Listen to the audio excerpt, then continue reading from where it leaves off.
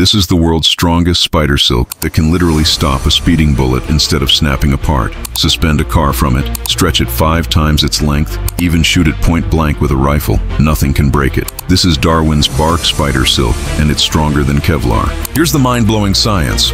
When the spider produces silk proteins through its microscopic spinnerets, molecular bonding creates something incredible. The crystalline protein structures lock together like interwoven chains while the elastic amorphous regions remain flexible, creating tensile strength of over 1.5 gigapascals. This perfect combination of strength and elasticity makes each strand virtually indestructible, five times stronger per weight than steel. But here's the crazy part. This indestructible material has one fatal weakness. See that tiny spider? It can only produce a few meters per day, and farming them is impossible.